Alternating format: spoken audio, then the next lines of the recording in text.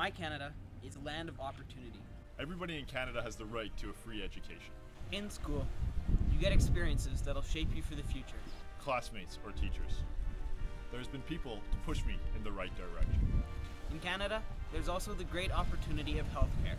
This free healthcare lifts a great burden off our shoulders. So I don't have to worry about getting hurt or injured and not being able to pay for it. That's my Canada. My Canada, a land of opportunity.